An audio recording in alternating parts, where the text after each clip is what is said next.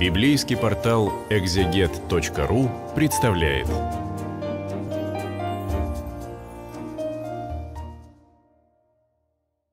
Для библейского портала «Экзегет» читаем первое послание к фессалоникийцам и последняя, пятая глава этого послания. Э, начинается с ответа на вопрос «А когда же придет Господь?». Вот в конце четвертой главы Павел рассказывает о том, что э, Господь придет, и те, кто умерли прежде Его пришествия, встретятся с теми, кто будет тогда жив. А когда, когда, когда? Очень хочется поскорее, ведь Он же уничтожит все зло, Он же нас прославит. Что касается времен и сроков, братья, даже нет нужды вам писать, ведь вы сами твердо знаете, что день Господень приходит как вор в ночи. Ну, э, евангельские такие. Здесь есть э, цитаты, да, или пересказы из Евангелия. Конечно, им хочется знать, он говорит, да вы же сами все знаете. Вот как он их старается поддержать, ободрить, даже там, где он говорит им, ну, не те вещи, которые они хотели бы слышать. А вы, братья, не бродите, э, когда будете говорить мир и безопасность, тогда постигнет их внезапная погибель, словно роженицу схватки, и некуда будет бежать. А вы, братья, не бродите во тьме, чтобы этот день застал вас врасплох, как вор. Все вы сыны света и сыны дня. Мы не причастны ночи и тьме, так что не будем спать, как остальные, а будем бдительны и трезвы. То есть, смотрите, э, день Господень приходит как вор ночью, такой странный образ, да, почему-то самое хорошее сравнивается Э, с не очень хорошим. Но здесь сравнение, конечно, неожиданность. Да? Основание для сравнения – полная неожиданность. День Господень приходит тогда, когда никто его не ждет, когда все спят. Но вы-то не спите. Да? То есть не очень важно, когда, а важно, в каком состоянии будете в этот момент вы.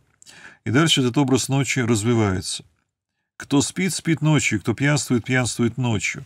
Да, то есть состояние либо бесчувственности, либо такой Э, увлеченности собственными удовольствиями, развлечениями.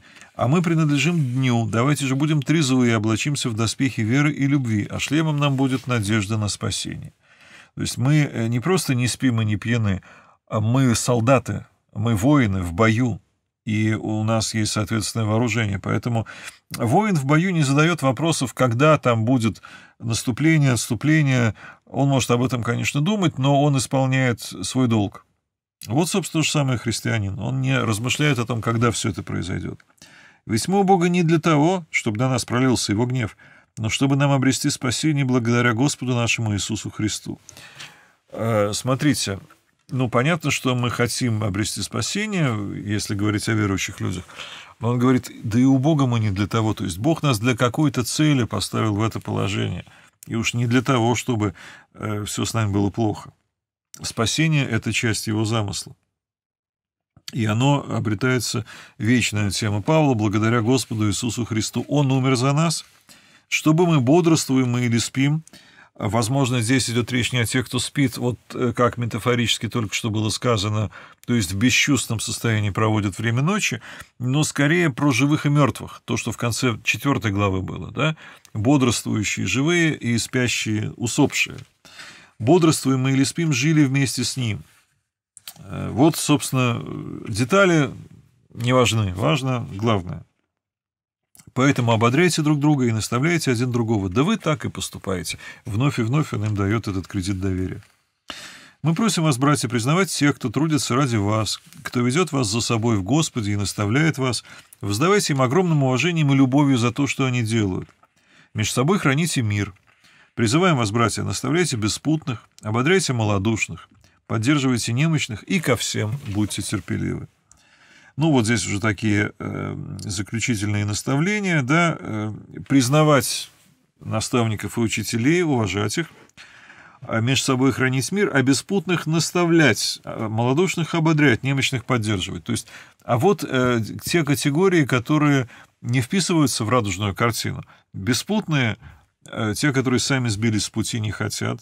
Молодушные, ну вот им не хватает душевных сил, у них э, там депрессия, надо их как-то ободрить, надо чем-то их поддержать. А немощные, у кого просто ну, вот совсем силы кончились, их тоже поддерживать. Значит, э, в зависимости от того, по какой причине человек выпадает в осадок, да, вот разное к нему отношение. И общие принципы. Постоянно радуйтесь, непрестанно молитесь, за все благодарите. Такова воля Божья о вас во Христе Иисусе может быть, э, самый неисполняемый призыв Павла во всем Новом Завете. Постоянно радуйтесь, непрерывно молитесь за все, благодарите.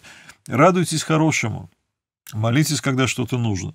Благодарите за то, что получили. Это способ жизни, обычный для человека, но радоваться постоянно, чтобы не происходило. Молиться в любой ситуации, когда есть, пить, спать.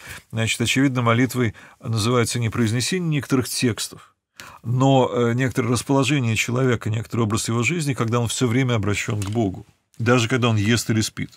Спим ли мы, бодрствуем ли мы, он говорит, мы со Христом. И за все благодарить. А как благодарить за побои, за заключение? Вот как Павел умудряется это делать, за страдания, причем незаслуженные. Вот потому что это какая-то единая часть христианской жизни, потому что христианин — это человек, э, описывает Павел, которому всегда хорошо, потому что он с Богом. Ему нельзя сделать плохого.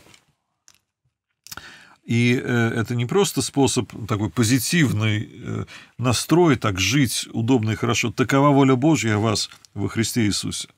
То есть Бог этого от вас ждет. Духа не угошайте, пророчествами не пренебрегайте, все испытывайте и придерживайтесь доброго, а зла в любом его виде сторонитесь. Возможно, еще были такие проблемы, что э, филиппийцы, философоникийцы относились как-то настороженно к пророчеству, к каким-то еще вещам, каким-то проявлениям духовной жизни, которые были им непонятны. Не угошайте духа. Дух дышит где хочет, и э, пытаясь его ввести в какие-то жесткие определенные рамки, вы можете тем самым его угасить, пренебречь пророчествами. Поэтому испытывайте все, а держитесь хорошего и сторонитесь зла. Сам Бог, дарующий мир, всецело да осветит вас, чтобы и дух ваш, и душа, и тело целиком сохранились непорочными до дня пришествия Господа нашего Иисуса Христа. Кто призвал вас, верен себе и все исполнит. Вот, э, собственно, старайтесь, старайтесь, старайтесь, а Господь пусть вас защитит, сохранит, сбережет до этого самого дня пришествия э, в этом благом состоянии. То, что Павел э, в послании к филиппийцам называл «совершайте свое спасение, Бог производит вас и хотение, и действия». Ну и заключительное приветствие. Братья, молитесь о нас. Приветствуйте всех братьев святым поцелуем. Заклинаю вас Господом, прочитайте послание всем братьям, то есть э, фессалоникийцам, а может быть и каким-то другим общинам направьте его. А благодать Господа нашего Иисуса Христа с вами. Аминь. Ну вот, э, мы прочитали первое послание к фессалоникийцам – Второе, э, может быть, чуть-чуть менее позитивное. Первое просто бьет ключом радость, но по содержанию очень похоже, его обязательно прочитаем тоже.